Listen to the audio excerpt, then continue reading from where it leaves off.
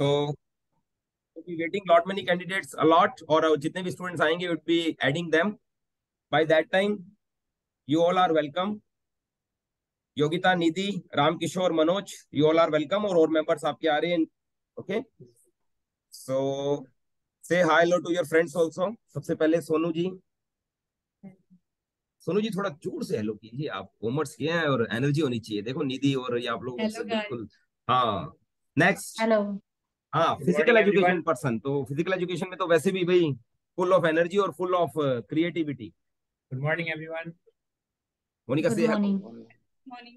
Next good morning yes yes mathematician hello and uh, commerce candidate and next PRT hello candidate. To all of you okay so today I want all of you to perform well and as usual we are giving chance to one of our candidate yes physical education give any situation to anybody yes come on हाँ जी। मेरा question सभी के लिए है situation based question है। अगर जो आपको पता लगता है कि स्कूल के अंदर कोई बच्चों के अंदर दो बच्चों के अंदर लड़ाई हो चुकी है ठीक है सर? हँसी मत आप। हाँ जी हाँ जी। आपको पता लगा कि हाँ लड़ाई हो चुकी है। आपको किसी बच्चे ने आके इन्फॉर्म किया कि सर वहाँ पे ऐसे ऐसे करके लड़ाई हो चुकी है। तो आप क्या करोगे वहाँ पे? थोड़ा गाइड कीजिए इनको। ऑफ़ योर एज पर योर माइंड एज पर your brain yes Nidhi Yogita Manoj Nidhi आप ट्राई कीजिए।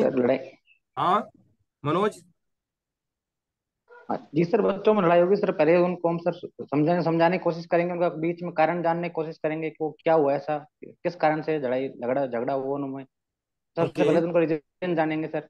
सर रीजन जान के सर उनको कोशिश करेंगे उनके रीजन को दूर करें सॉर्ट आउट करें उनकी प्रॉब्लम को। और वापस. उनमें फ्रेंडशिप करवाएँ दोस्त दोस्ती करवाएँ। एंड द मोर इम्पोर्टेंट कि वो लड़ाई दोबारा ना हो।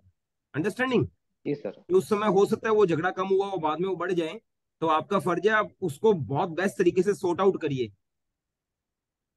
और as a physical education teacher मुझे लगता है this is a part of your job only और ये चीज़ें तो चलेगी आपके ये तो पार्ट है। तो you have to face this things regularly okay चलिए next question I want to give chance to mathematician yes Manoj ji है पूछिए कुछ भी। ये जल्दी आपको यहाँ भी मिलेंगे। जी जी सर हाँ जी।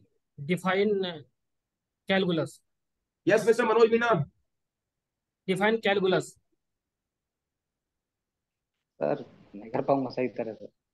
कैलकुलस कैलकुलस हाँ सर हाँ सर कलन लेकिन सर तो वो मैन प्रॉपर तरीके से डिफाइन नहीं कर पाऊँगा सर आप भी बताओ एक बार। हाँ बता दीजिए चलिए बताइए। कैलकुलस जो हमारे कैलकुलस होती है तो कैलकुलस रेट ऑफ़ चेंज यानी जो हमारे पास जो क्वांटिटी होती है उसमें जो परिवर्तन की दर होगी तो उसको बोलते हैं कैलकुलस वो जो कैलकुलस होगी आपकी टू टाइप से होगी।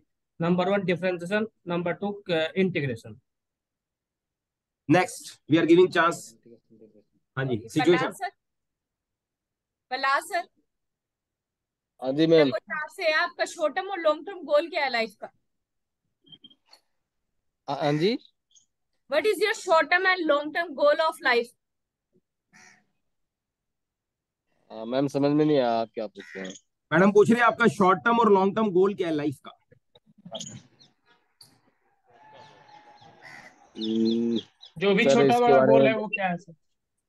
अब मैं समझ गया बट मुझे अभी ध्यान में नहीं आ रहा मैं इसको भी शेयर भी नहीं करना चाहता। एनीबडी एल्स सा Sir, my short-term goals is to make a career with Kendriya Vidyalaya and long-term goals if I go, uh, didn't get this chance at this time, I will try it for further. Okay, but when you are saying you are making in career, definitely you will get selected. You should be very optimistic, and you should state as if that my uh, long term is to make myself as the important soul of my organization by working sincerely and honestly. Okay. चलिए next Okay. chance we are giving to Sonu Sonu please किसी से भी बताइए किससे question put up करना चाहेंगे आप हाँ जी पूछ लीजिए नो प्रॉब्लम यहाँ पर। हाँ जी Nidhi ji get ready yes difference between MOA और एओए मेमोरेंडम ऑफ़ एसोसिएशन हर कंपनी के लिए बनाना कंपलसरी होता है चाहे वो प्राइवेट है चाहे पब्लिक है। लेकिन आर्टिकल ऑफ़ एसोसिएशन है वो प्राइवेट कंपनियों के लिए कंपलसरी नहीं है। वो उसको स्किप करके कंपनी एक्ट 2013 में टेबल ए है उसको फॉलो कर सकते हैं। मेमोरेंडम ऑफ़ एसोसिएशन हमारा प्रोस्पेक्टस के थ्रू जब हम शेयर्स इशू करते हैं पब्लिक में तो उनको बताना पड़ता है हमारी कंपनी की बेसिक इन्फॉर्मेशन है मोटो क्या है मिशन क्या है कंपनी के director main difference memorandum main purpose इसका यही होता है ये रजिस्ट्रार के पास सबमिट करवाना होता है जब भी नई कंपनी का इनकॉर्पोरेशन किया जाता है। लेकिन आर्टिकल ऑफ़ एसोसिएशन उस टाइम पे सबमिट करवाना कंपलसरी नहीं होता। वो डेली रूटीन एक्टिविटीज़ के रिगार्डिंग गाइडलाइंस देता है और एओए है हमारा जो आर्टिकल ऑफ़ एसोसिएशन है। मैम एमओए क्या है? एक लॉन्ग टर्म ऑब्जेक्टिव को बताता है कंपनी के जो इनकॉर्पोरेशन के टाइम पे जो है। यस उज्जवल सर मेरा आपसे एक क्वेश्चन है। सर आपके क्लास में ड्यूरिंग योर क्लास मतलब प्रिंसिपल सर या कोई अदर अथॉरिटी आपको चेक करने के लिए आ जाते हैं। तो आप कैसे रेस्पॉन्स करेंगे? उन्हें कैसे ग्रीट करेंगे या क्या करेंगे उनको उनको? सर ऐसे तो मैं लाइब्रेरी के लिए जा रहा हूँ सर। लाइब्रेरी में चेक करने के लिए आ जाए। ये बोल रहे हैं मान लीजिए आप अपनी क्लास में चाहे लाइब्रेरी हो चाहे क्लास हो आप उन्हें ग्रीट कैसे करेंगे? Means what you will do at that moment यही क्वेश्चन है। सर मैं एक हा- मैं मैं एक हार्ड वर्किंग पर्सन हूँ और मैं अपना कार्य सबसे पहले पूरा कर लेता हूँ सर। जो भी मेरा कैटलॉग मैनेजमेंट है सर या रजिस्टर पर सूची पत्र जिसे कैटलॉगिंग कहा जाता है सर यदि उसको मैनेजमेंट का सिस्टम मैं क्लियर करके रखता हूँ सर तो वो आएँगे तो यदि हमारा रजिस्टर देखना चाहते हैं या कैटलॉगिंग सिस्टम देखना चाहते हैं तो मैं उनको प्रॉपरली दिखा दूँगा सर। यस हेलो सर वो सर आए या प्रिंसिपल नहीं आए? सर हम इतना अच्छा से प्रिपेयर डेली करके रखेंगे सर लाइब्रेरी को कि उनके आने से ऐसा कोई बात को उसको एहसास ना हो सर कि हमारे लाइब्रेरी में कुछ तरह का दिक्कत है sir. Right yes hello sir Ramkishor sir से मेरा एक क्वेश्चन है सर। हाँ जी। रामकिशोर सर। जी बोलिए। जी जी, बोलिए। सर मेरे लाइब्रेरी में सर कुछ बच्चे आए हैं सर उसमें एक दो हल्ला कर रहा है सर तो हम उसको कैसे सर मेंटेन करेंगे सर? हाँ तो हल्ला कर रहा है तो सबसे पहले तो वो ग्रुप में आए या इंडिविजुअल आए हुए हैं? इंडिविजुअल भी है सर। ग्रुप में भी है दोनों बता दें तो सजेस्ट कर दें तो ठीक रहेगा सर। हाँ तो जैसे ग्रुप में आए तो वो तो उसके अपने पीरियड के दौरान आए होंगे। और आए हैं तो वो पढ़ने के लिए आए तो सबसे पहले तो हम अपने दीवार वगैरह पे वो बोर्डिंग वो पिक्चर वगैरह लगा के रखेंगे इस चीज़ें के लिए कि कीप साइलेंस वगैरह बातें ना करें आपस में। आ, उनके बाद भी अगर कोई आके हल्ला करता है तो सबसे पहले तो उनको समझाया जाएगा कि प्रॉपर तरीका से कि आपका लाइब्रेरी सेशन लगा है पीरियड लगा है तो इसमें आपको यहाँ आके बैठ के पढ़ना होता है।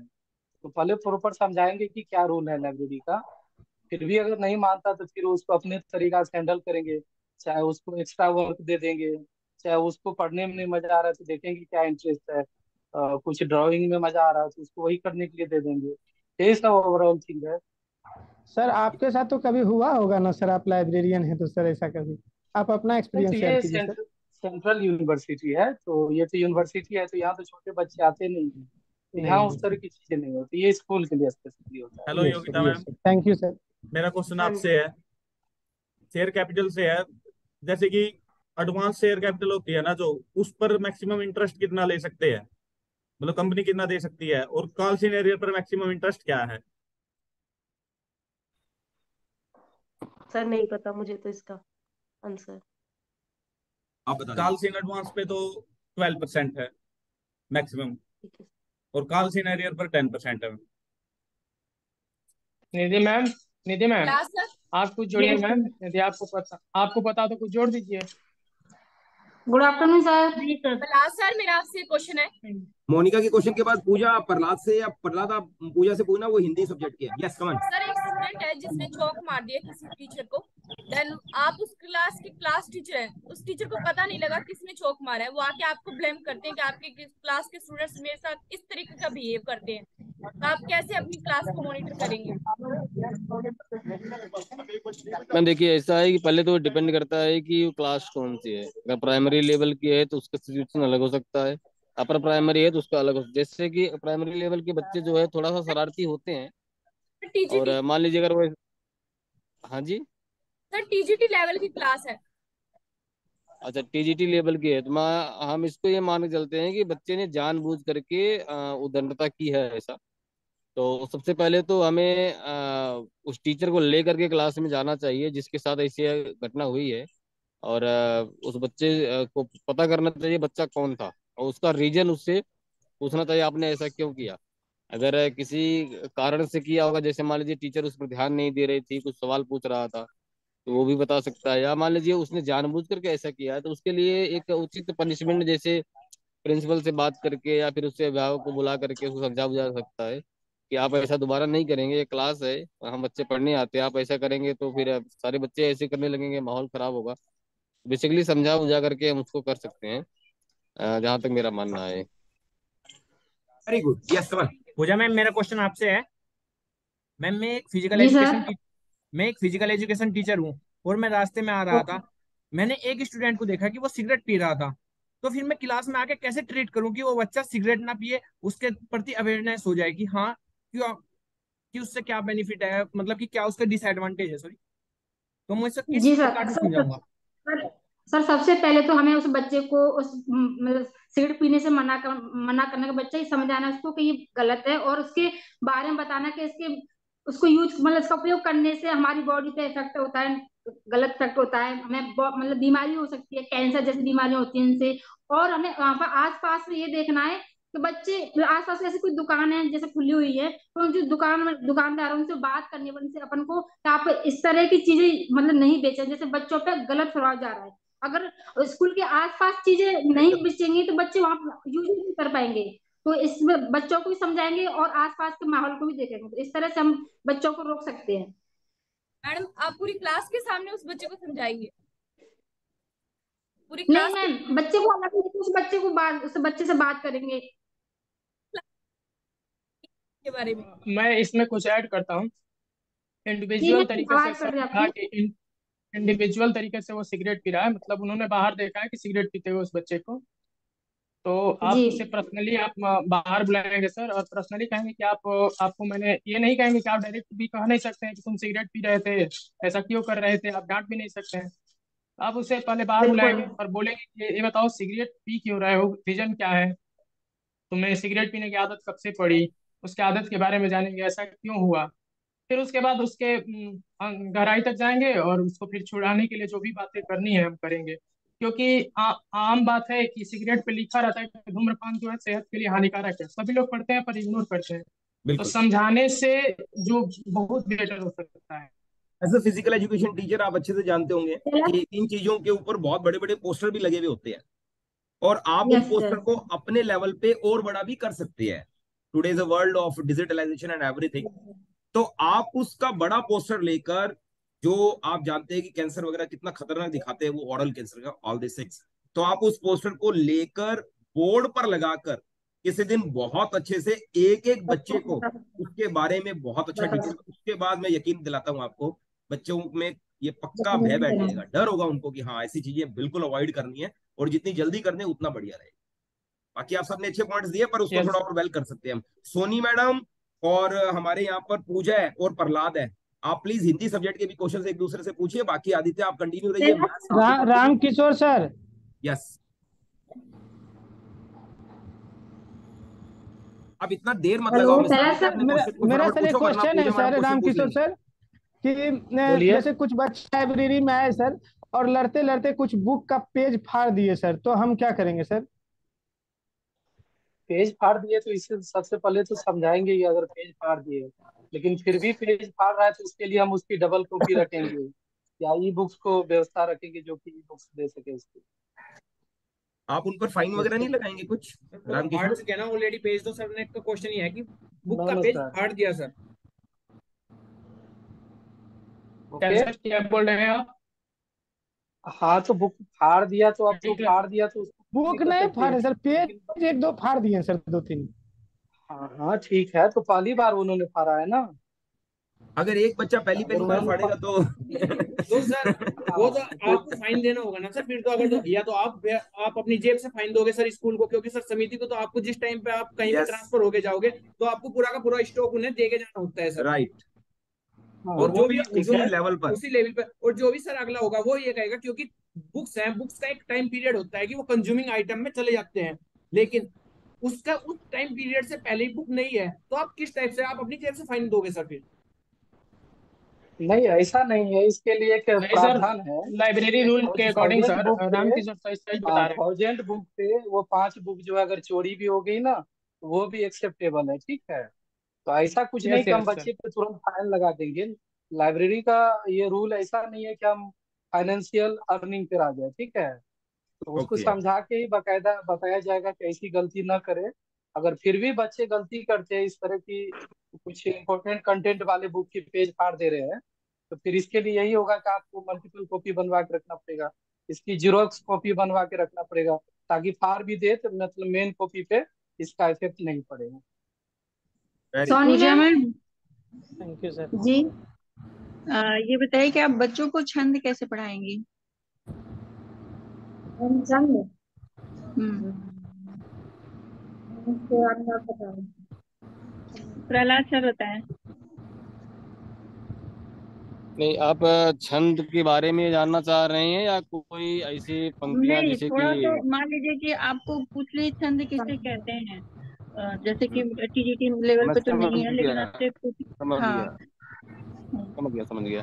देखिए, छंद ऐसा होता है जो कि पद्य का एक भाग होता है, पद्य के अंतर्गत में आता है। बेसिकली पद्य जो है छंद से ही बना, सारे पद्य छंद से बने होते हैं। उसमें कुछ चरण, कुछ ऐसे तत्व होते हैं जिनकी आवश्यकता पड़ती है। जैसे कि लय हो गया, तुक हो गया, गति हो गई, यति हो गई, और गण हो गए उसमें। गण जिसमें सात गण होते हैं, और इनकी इन सबके इन्हीं तत्वों से मिलकर के बनी हुई पंक्तियाँ को हम हम्म। छंद कहते हैं और छंद छंद के कई प्रकार होते हैं। एक तो मात्रा मात्रात्मक होता है दूसरा होता है वर्णनात्मक यानी कि जिसमें मात्रों की मात्रों को ध्यान में रख करके जिसकी रचना की जाए वह मात्रात्मक होता है। जिसमें वर्णों की को ध्यान में रख करके वर्णन किया उसकी रचना किया जाए तो वह जो है कि वर्णनात्मक होता है जिसमें दोहा है चौपाई है तो ये सब छंद के अंतर्गत में ही आते हैं छंद के एक वेद होते हैं। बेसिकली छंद उसे कहते हैं जिसमें लय गति तुक और यति और गण का ध्यान दिया जाए वही छंद होता है मुख्यतः। ठीक। Ramkishor sir? Ji. Sir types of catalogue कितने होते हैं सर? टाइप्स ऑफ़ कैटालॉगिंग नहीं होता है वो स्कीम का ये अलग अलग होता है कि मतलब जैसे एशिया टू है तो वो अमेरिकन ओरिजिन का है ट्रिपल सी तो ऐसा तो ऐसा ऐसा क्वेश्चन नहीं ऐसा क्वेश्चन नहीं कर सकता सर कि टाइप्स ऑफ़ कैटालॉग बताएँ इस तरह से नहीं पूछ सकते सर। टाइप्स में उनके मेन एंट्री होते हैं वो बोलेंगे कि इनके एंट्री कितने होते हैं सेक्शन कितने होते हैं ये सब पूछा जाता है। तो ये सीसी में भी मनोज सर मेरा आपसे क्वेश्चन है। एंट्री होती है सर। मनोज हाँ सर? हाँ वही आपको। डिफरेंस करना पड़ेगा। जी सर बताइए। सर मेरा आपसे एक क्वेश्चन है। Distance between two parallel lines distance between two हाँ। बताइए।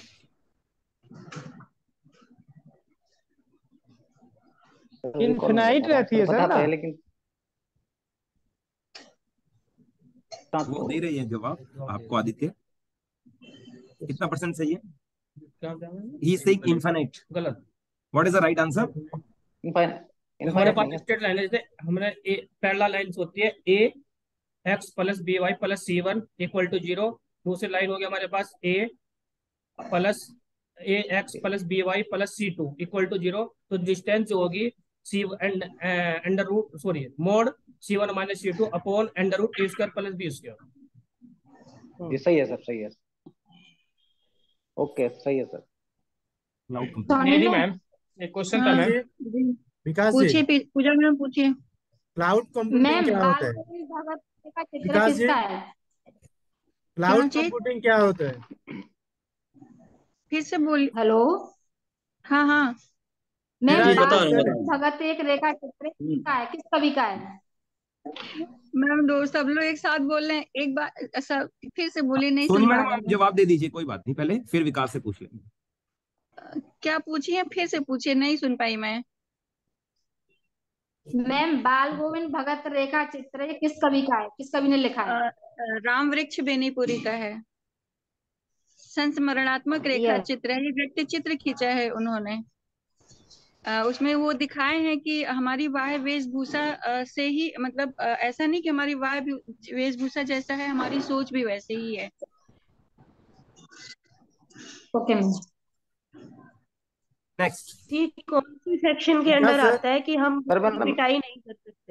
जी पूछिए सर।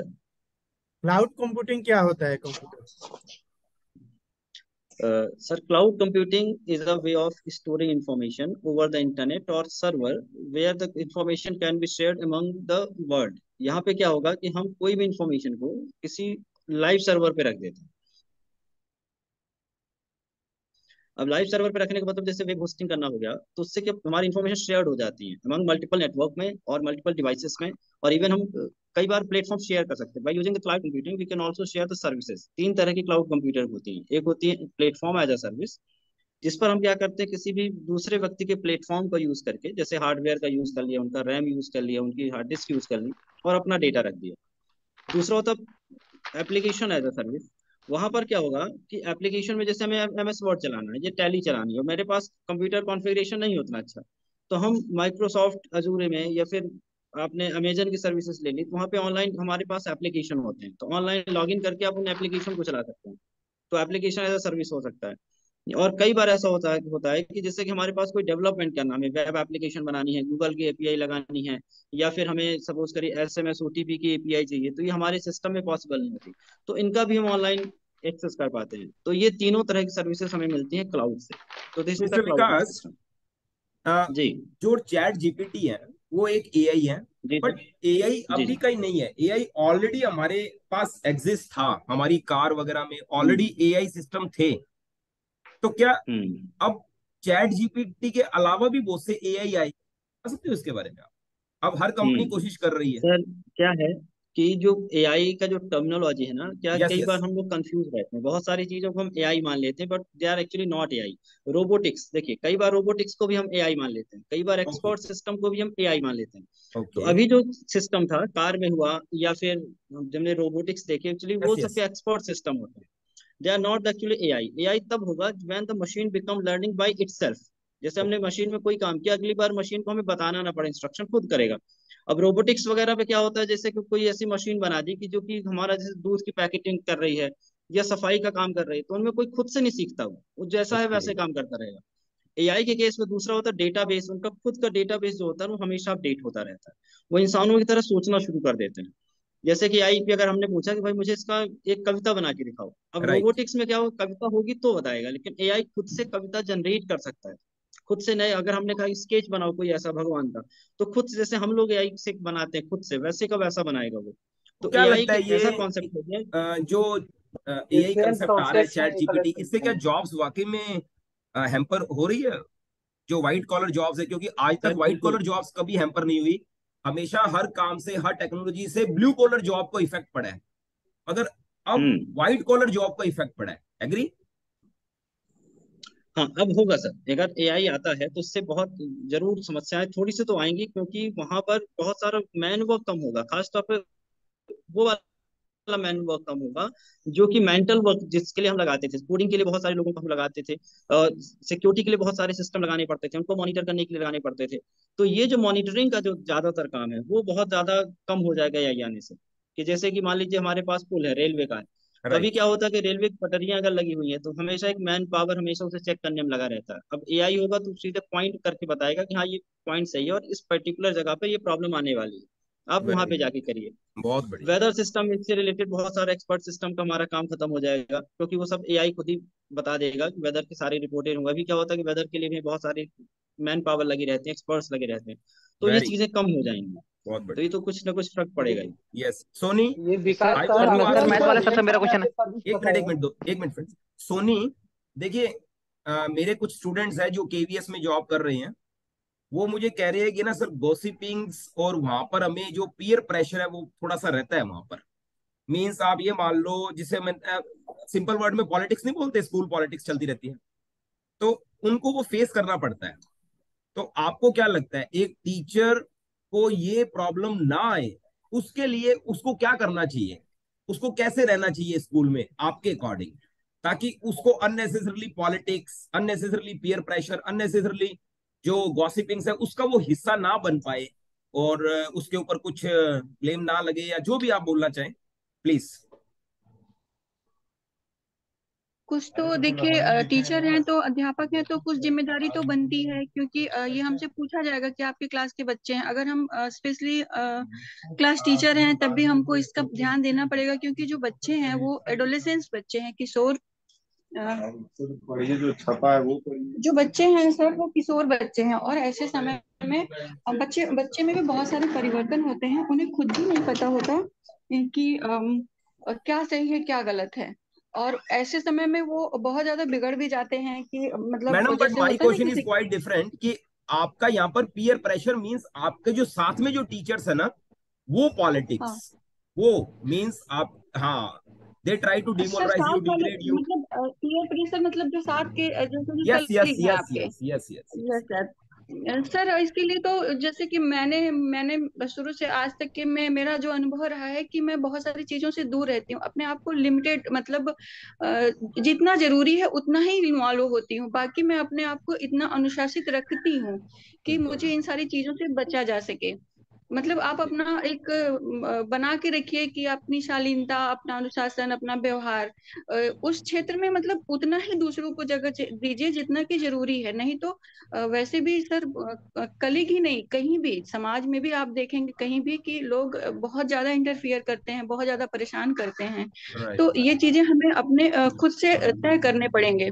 और थोड़ा सा हमें मतलब मानसिक रूप से इसके लिए तैयार रहना चाहिए कि इन सब चीज़ों को झेलना पड़ सकता है। तो अपने आप को फिट रखने के लिए मज़बूत रखने के लिए मेंटली हमें कुछ मेडिटेशन और योगा क- ज़रूरत पड़ेगी। बाकी तो अपनी जिम्मेदारियाँ हम खुद तय करेंगे कि हमें कहाँ इन्वॉल्व होना है उनका पर्सपेक्टिव क्या है आगे बढ़ने को लेके क्लास को लेके या उनकी राजनीति क्या है मेरी क्या है। पर बहुत से टीचर्स होते हैं जो इससे ना एंजाइटी में आ जाती है। वो means yes sir sir yes I can understand yes yes अब जॉब अच्छी है वो उसको छोड़ भी नहीं सकते। नहीं नहीं उसको छोड़ प्रेशर है जो सैलरी है वो घर वाले सोच रहे हैं बहुत बेस्ट है हाँ। बहुत बेस्ट है वो उनका प्रेशर रहता है। अब वो जी में आ गए तो वो ना आए उसके लिए उन्हें क्या करना चाहिए? आपने एक पॉइंट बताया बहुत अच्छा कुछ और? सर उनके लिए उसके लिए उनको मेडिटेशन मेडिटेशन योगा अपने आप को ज़रूरत है अपने आप को फिट रखने के लिए इन सब सारी चीज़ों से बचने के लिए ताकि हम मेंटली इतने मज़बूत रहें। नहीं तो अगर दो तीन चार दिन आठ दिन दस दिन एक महीने बाद थोड़ा थोड़ा तो असर पड़ता है पर हमें उसके लिए लगातार प्रयास करना पड़ेगा। क्योंकि वो चीज़ें हर जगह समथिंग कोई ऐड करना चाहेगा? क्योंकि आज का जो वीडियो है वो मेरे केवीएस में जॉब करने वाले बच्चे ज़रूर देखेंगे। मैं उनको ये ज़रूर प्रेफर करूँगा कि ये वर्डिंग सोनी मैडम के ज़रूर देखें। आप में से कोई ऐड करना चाहेगा कुछ इसके अंदर कि उनको क्या करना चाहिए? कल आप भी ऐसी जॉब के लिए जा रहे हैं। Anybody want to add something sir इसमें मैं थोड़ा सा सर मैं थोड़ा सा ऐड करना चाहूँगी। बहुत बढ़िया। सर इसमें हम अपने आप को अच्छे से मैम ने बोला जैसे मेडिटेशन योगा कर सकते हैं। मेडिटेशन योगा अगर कोई नहीं कर पाता तो वो अपने आप को अदर एक्टिविटीज़ में इन्वॉल्व कर सकता है जो उसकी मेंटल हेल्थ के लिए बढ़िया होती हैं। ऑनलाइन गेम्स भी होते हैं या अदर क्विज होती हैं कोई भी अदर एक्टिविटीज़ कर सकता है। किसी को मेडिटेशन योगा नहीं कर पा रहा तो वो अपने आप को अदर एक्टिविटीज़ में इन्वॉल्व कर सकता है। या फिर अपने स्टूडेंट्स को किस तरीके से डेवलप करे उन स्कूल में रहकर ही विद इन स्कूल भी वो अपने आप को मैनेज कर सकता है कि वो पूरा टाइम इस चीज़ पर अगर फोकस करेगा अगर मान लिया सभी से अच्छी बॉन्डिंग है फ़र्स्ट प्रोस्पेक्टिव यही होता है कि हमारी वहाँ पर दूसरे कलीग के साथ बॉन्डिंग अच्छी हो कोऑर्डिनेशन right. अच्छा हो लेकिन ऐसा रियल लाइफ में पॉसिबल नहीं हो पाता तो उस चीज़ को हम पॉसिबल करने के लिए सभी के साथ लिमिटेड इन्वॉल्व रहे मैम ने बोल दी ये बात। लेकिन प्लस उनको ऐसा भी ना लगे कि हमारे साथ इन्वॉल्व नहीं हो रही है तो उसके लिए हमें अपने आप को दूसरी एक्टिविटीज़ में बिज़ी रखना है ताकि उन्हें ऐसा ना लगे कि इसके अंदर ईगो है। राइट राइट बट मेरे जो स्टूडेंट्स हैं वो ये कन्वे कर रहे हैं sir we have to face lot many tantrums means बहुत से लोग उनको टेंट्रम्स दे रहे हैं कुछ ना कुछ ऐसा पॉइंट्स कह रहे हैं जो उनको मतलब उनमें वो कमियाँ है नहीं पर वो उनको सुनने को मिलती है कई बार। और ये पॉलिटिक्स की वजह से उनके सीनियर्स जो है वो भी उनके अगेंस्ट में सपोर्टिव हो जाते हैं उनके सपोर्ट में नहीं रहते। तो such things they have to face sir ऐसा हर क्षेत्र में होता है। okay. तो उसके लिए हमें मतलब वही बात है कि हमें खुद को तैयार रखना है। अपनी अपनी चीज़ें मतलब हमें स्टूडेंट्स के साथ कैसे रहना है क्या कराना है अपनी जिम ऑलरेडी बहुत सारे काम होते हैं पर अगर आप में प्रतिभा है और सब कुछ है तो फिर आपको आगे बढ़ने से भी कोई नहीं रोकेगा। कोई नहीं रोक सकता ये सारी चीज़ें कुछ समय तक के लिए होती हैं। जब आप उन सब चीज़ों से धीरे धीरे खुद को अपने माइंड को डाइवर्ट करते हैं तो एक समय बाद आपको खुद ही लगता है कि अरे ये लोग तो बस ऐसे ही हैं। तो इन सब चीज़ों से जी। बहुत बढ़िया। सर मेरा क्वेश्चन है सर। सर मैथ वाले सर से क्वेश्चन है। सर। मेरा क्वेश्चन है सर हाँ जी मनोज आप पूछ लो पूछ लो। जी सर एक जैसे सर समांतर रेखा का समीकरण क्या होता है? X plus b y plus c बराबर ज़ीरो के समांतर रेखा का समीकरण निकालना चाहते हैं अपन। तो कैसे निकालेंगे? समांतर रेखा का समीकरण कैसे निकालेंगे? समांतर रेखा का समीकरण नहीं समांतर रेखा तो आप बता रहे हो समांतर रेखा तो आपकी होती है एक्स प्लस बी वाई तो प्लस तो नहीं तो, नहीं सर नहीं, तो सर इसके इसके समांतर दूसरी रेखा का समीकरण कैसे निकालेंगे? इसके समांतर और रेखा है तो उसका समीकरण अपन को हाँ निकालना है। कैसे निकालेंगे इसके? इसके से इसके समांतर रेखा a x plus b y plus lambda equal to zero ji sir और सर लंब लंब रेखा का समीकरण निकालना हो तो? नंबर के लिए क्या करेंगे इनके कोफिशिएंट बराबर चेंज कर देंगे और माइनस साइन लगा देंगे यानी b x minus a a y plus lambda equal to zero ठीक है सर?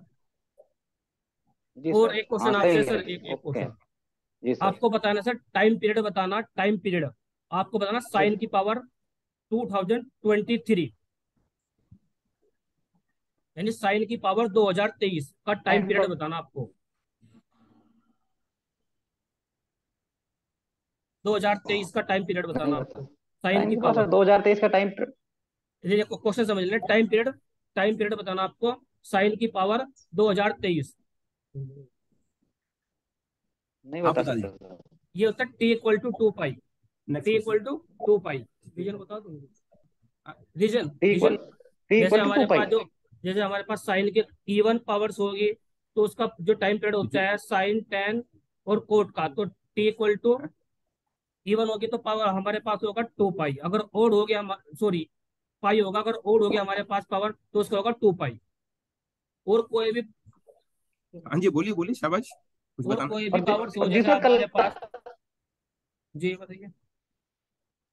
जी सर वो कल आप सर परसों आपने वो वो वो पूछा था सर, मतलब प्रोबेबिलिटी का क्वेश्चन कि सर मतलब प्रोबेबिलिटी की मतलब असंभव संभावना कौन सी है? आपने क्या बताया? ज़ीरो बताया था सर।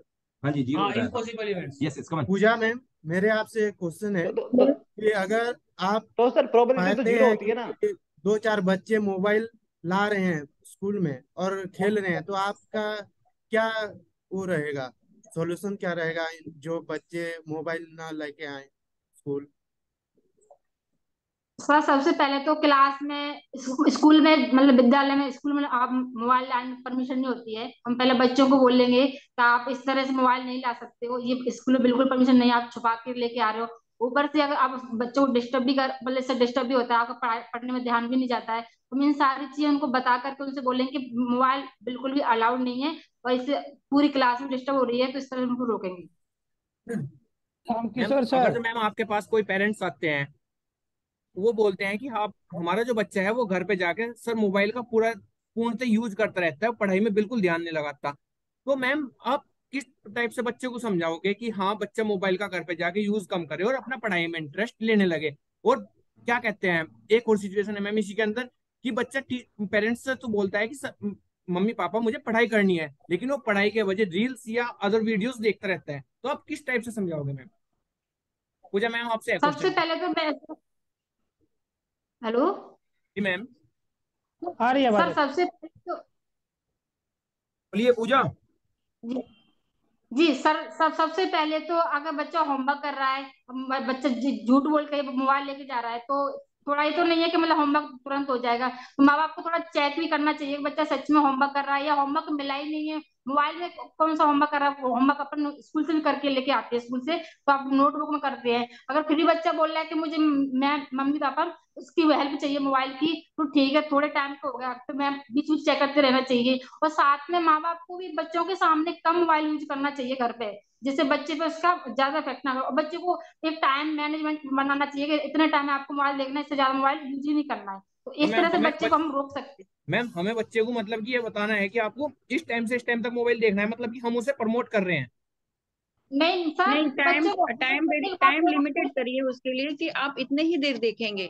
मोबाइल के लिए। पूरी तरीके से आप नहीं हटा मैम ये तो बैड हैबिट हो जाएगी ना। मैम आप बैड हैबिट नहीं मैम आप मोबाइल के प्रति आप एक बच्चे को आप मोबाइल के प्रति सलाह दे रहे हो। कि आप आप मोबाइल का टाइम पीरियड बनाए। आप उस टाइम में आप बच्चे को कह सकते हो बोले कि हाँ आप टीवी हम कह सकते हो ठीक है वो मोबाइल पे ना देख के टीवी पे देख। के sir sir sir. Sir use हैं होना चाहिए कि अगर मोबाइल दिया जा रहा है तो उसका यूज़ क्या है? सर पर्पस सर पूरी तरह तरीके से अगर आप बंद कर देंगे तो फिर बच्चा चोरी से देखेगा। इसलिए ज़रूरी है कि आप थोड़ी देर के लिए उसको दे सकते हैं। बिल्कुल है ना? बिल्कुल मैम और बिल्कुल मैम मैम हाँ। उस बात से आपकी सहमत हूँ। लेकिन मैम हम बच्चे का टाइम पीरियड नहीं बाँध सकते ना कि हाँ आपको इस टाइम से इस टाइम तक आपको मोबाइल का यूज़ करना है वो नहीं कर सकते ना मैम आप। बच्चे को तो सपोज़ करो आप अभी पढ़ाई कर रहे हो आपको अभी पढ़ते नहीं तो पढ़ते चीज़ नहीं तो आप एकदम ये नहीं कहिए कि आप दो से चार बजे तक ही देखना है आपको उसका टाइम बदल दीजिए ना बदल बदल के दीजिए नहीं तो आपको बच्चे ये के फिर आपको लाइट आ रही है इसी में आपको दिखाता हूँ एक चीज़। फिर आप थोड़ा स्माइल भी कर लेंगे और आज की क्लास भी थोड़ी इंटरेस्टिंग हो जाएगी और आप लोगों को अच्छा भी लगेगा। देखिए ये मदर है। चल। नहीं रहा चला। ये देखिए ये मदर है ये बच्चे उनके। पहले मोबाइल रखो उसके बाद प्लेट में खाना लो उसके बाद जाओ। दूसरा मोबाइल दो खाना दीजिए। अब हस्बैंड थोड़ा ज़्यादा इंटेलिजेंट है। हाँ वो है। उसने भी थोड़ा सा दे दिया। इज़ इट गुड हाँ हाँ ये सही है सर है। तो आप ये फॉर्मूला वगैरह कुछ अपना सकते हैं? बहुत क्रिएटिविटी है दुनिया सारे लोग जी। सर मेरा एक क्वेश्चन है सर। अच्छा है सर। लाइब्रेरी पीरियड में सर मेरा कोई बात नहीं मानता है तो हम क्या करेंगे सर? रामकिशोर सर। बात नहीं मानने का Ramkishor sir why not why not Ujjwal? और किरण नहीं आई क्या? ये सर उज्जवल लोगों सर से ये सर पूछते तुम? हमेशा रामकिशोर को क्यों तंग करते हो? रामकिशोर सर। उज्जवल को भी चांस दो। सर हाँ एक रामकिशोर तुम अच्छे सर सर बोलते सर हो मगर सर मैं चाहता हूँ सबको थोड़ा थोड़ा थोड़ा थोड़ा मौका मिले इसलिए बोल रहा हूँ। उज्जवल आप ट्राई कीजिए इनके लिए। राम और रामकिशोर आप भी क्वेश्चन अ, नहीं सर मैं हाँ जी उज्जवल बोलिए। उज्जवल आप म्यूट है। नहीं सर रामकिशोर सर से मेरा क्वेश्चन था सर। पहले पहले आदित्य के क्वेश्चन का जवाब देने दो। चलो रामकिशोर आंसर दे दूँगा। सर ये क्वेश्चन थोड़ा इंपॉर्टेंट है इसलिए मैं पूछ रहा हूँ। वो मैं आंसर दे दूँगा सर उसका अच्छा अच्छा। बेस्ट आंसर दे दूँगा सर अच्छा अच्छा ओके रा, रामकिशोर सर ये बताइए स्कूल लाइब्रेरी में सॉफ्टवेयर का क्या काम है सर सॉफ्टवेयर का? सॉफ्टवेयर का बेसिकली वही जो ऑटोमेटेड सिस्टम में जा रहे हैं मैनुअल सिस्टम से ऑटोमेटेड सिस्टम में चाहे सर्कुलेशन करना हो चाहे सीरियल कंट्रोल करना हो चाहे रिपोर्ट्स जनरेट करना हो बेसिकली सॉफ्टवेयर का इसी में यूज़ होगा। ओके ओके सर हाँ आप बोलिए आदित्य सर आपका क्वेश्चन क्या था सर थोड़ा जल्दी प्लीज़ आदित्य। मेरा क्वेश्चन था कि लाइब्रेरी पीरियड में कोई बच्चा मेरा बात नहीं मान रहा है तो हम क्या करेंगे सर सर लाइब्रेरी पीरियड में यदि आपका बच्चा मान यदि बात नहीं मान रहा है तो सबसे पहले तो आप लाइब्रेरी रूल के अकॉर्डिंग सर आप समझा सकते हैं आखिरकार कैसी बात नहीं मान रहा है सर ये तो उस बच्चे पर निर्भर करता है आपकी कौन सी बात नहीं मान रहा है। थोड़ा सा क्लियरफाइड करेंगे? जैसे सर मान के चलिए कि हम कुछ बोल रहे हैं वो कुछ कर रहे हैं इस टाइप से। नहीं सर तो ये तो लाइब्रेरी रूल के कर रहा यस क्या सर। सर? जैसे सर मान के चलिए दस बच्चा है सर कुछ कुछ कुछ बच्चे को सर हम बुक दे रहे हैं सर और कोई बात मेरा नहीं मान कि तो उसके लिए हम क्या हैं करेंगे सर? लाइब्रेरी में बच्चे बैठे हुए सर? का जैसा क्वेश्चन था मैं सर के क्वेश्चन को ही आगे बढ़ा रहा। बच्चे बैठे हुए लाइब्रेरी में। लाइब्रेरी में क्या रहना होता है? पिन ड्रॉप साइलेंस रहना होता है सर। लेकिन बच्चे आवाज़ कर रहे हैं। आवाज़ भी ऐसी नहीं कर रहे कि बच्चे की आवाज़ आपको आ रही। बच्चा इस टाइप की आवाज़ कर रहा या पेपर्स की आवाज़ कर रहा जानबूझ के कि जिससे कि दूसरे बच्चों को डिस्टरबेंस हो रहा। इस टाइप में क्या करेंगे सर फिर? तो सर उस बच्चे को समझा सकते हैं। सर पर्सनली जाके उसके पास आपको तो पता नहीं लग रहा ना कि बच्चा बोल बोलने है सर? तो देखिए लाइब्रेरी में तो सभी लोग बैठे होंगे सर। तो मैं उसका सर्कुलेशन मैं उसका वो कर सकता हूँ घूम के देख सकता हूँ ना सर? अगर मैं पता नहीं चल तो उस तरह उस तरह से पता चलेगा ना सर। मैं घूम के देखूँगा कि कौन सा बच्चा ऐसा कर रहा है क्योंकि सभी एक डेस्क में बैठे होते हैं एक सीरियल लाइन से बैठे होते हैं। जब आपको सर देख लेगा तो वो साइलेंट हो जाएँगे। फिर आप जाइएगा फिर करने लगेंगे। Okay now please please please बहुत टाइम हो गया प्लीज़ रामकिशोर जी कल आप सबसे पहले क्वेश्चन पुट अप करेंगे। अब सुनिए मेरी बात। देखिए जब हम कॉम्प्लीमेंट्री क्लास करते हैं ना तो आप लोग भी प्लीज़ क्वेश्चंस लेकर आया करो। सभी निधि योगिता बहुत कम पार्टिसिपेट करते हैं। तो प्लीज़ आप भी अपने क्वेश्चंस लेकर आया करो अच्छे अच्छे नई नई बात सोचा करो कि यार अगर ऐसा हो तो क्योंकि इंटरव्यू भी तो इंसान है ना। वो कोई ऐसा नहीं है कि रोबोटिक्स है, कुछ स्पेशल है, वो भी आपकी तरह ही है। तो आप अपनी लाइफ से रिलेटेड भी कोई बात सोचकर यहाँ दे दिया करो क्वेश्चन फिर देखा करो